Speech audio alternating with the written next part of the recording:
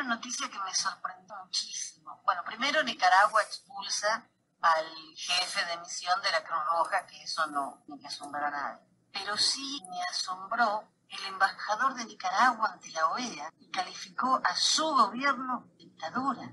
Denunciar la dictadura de mi país no es fácil, pero seguir guardando silencio y defender lo intangible es posible. Negar la valentía del hecho sería mezquino, ¿no?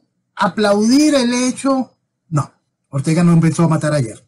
Haber aceptado simplemente ser parte del gobierno de Ortega después de la huella de Ortega de los 80, para mí simplemente no tiene perdón. Allá él, allá lo que lo aplauden. En lo particular yo no. no a mí me dejó asombrada porque lo nombró Ortega en octubre. Supongo que todo el mundo se debe quedado perplejo, porque sí. no es yo, yo, esa parte la entiendo. Yo entiendo a la gente que se queda perpleja. Porque, mira, te acaban de nombrar, seguramente tú estabas muy bien colocado para que te llevaran a, ese, a esa gran representación. El asunto es, y repito, si se hizo como estrategia, qué bien. Si, si, el tipo se quedó calladito, esperó su espacio para poder tener la oportunidad de decirlo en una tribuna como esa, qué bueno, se le aplaude. El asunto es, Ortega no es malo de ahorita. ¿ok? Ortega fue malo en los 80. En los 80 entonces, por eso para mí quien haya juzgado en algún, en algún momento al Ortega de, del 2000 para acá como una oportunidad positiva para Nicaragua, simplemente es un degenerado peor que cualquiera de los miembros de la oposición venezolana que ha llamado a votar como si aquí hubiese democracia. La idea de que él en su momento es un poco creer porque alguien para llegar a ser embajador ¿verdad? la OEA eh, no es... Eh, cualquiera de nosotros que pasa por ahí le dicen que ser embajador. ¿Verdad? Bueno, sí, en mi país pasa, porque tenemos a un canciller que te cuento. No te cuento los de aquí, fíjate, Maduro fue el canciller más que tuvo la historia como canciller de la República de Venezuela por más años, te digo. Sí, sí, en Argentina hubo unos memes tremendos con el canciller que habló un inglés, no sé, ni él se pero después dijo que estaba escrito el discurso en español y que como no había traductor, tuvo que improvisar. Un canciller que no habla inglés es impensable. Es impensable, pero fíjate, muchos cancilleres hoy en el mundo, porque es un proceso de mantener la identidad, hablan en su idioma. Tú no vas a ver a la Europa hablándole a Europa en otro idioma que no sea ruso. No vas a ver hablándole a los Estados Unidos en otro idioma que no sea ruso.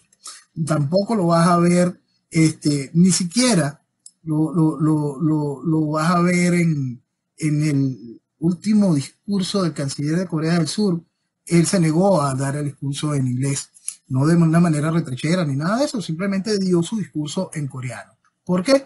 Porque cada uno busca defender su identidad nacional. Sí, por supuesto es fundamental que hable inglés, pero lo fundamental es que no haga el ridículo como hizo ese canciller. Claro, porque hizo traducción simultánea con Saddam Hussein con una palabra. Adiós. No sé si habrá llegado de vuelta ese señor. Pero la mirada de don Saddam fue tremenda. Obviamente él no hablaba inglés, no tenía el traductor, pero entendía todo.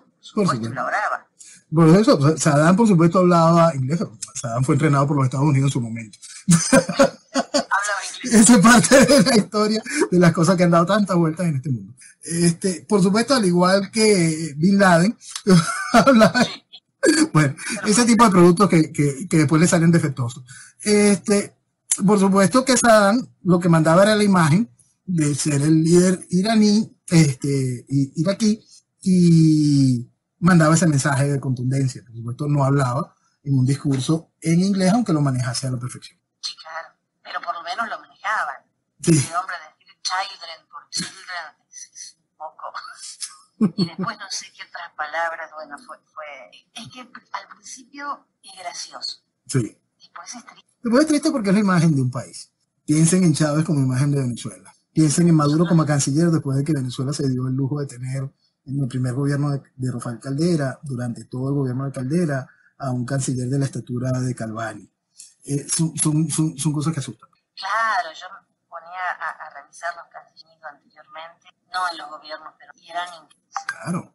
Todo país, tiene, todo país tiene una reserva extraordinaria de gente con altísimas capacidades. Gente con altísimas capacidades que para verse ligados en los procesos políticos muchas veces cuesta.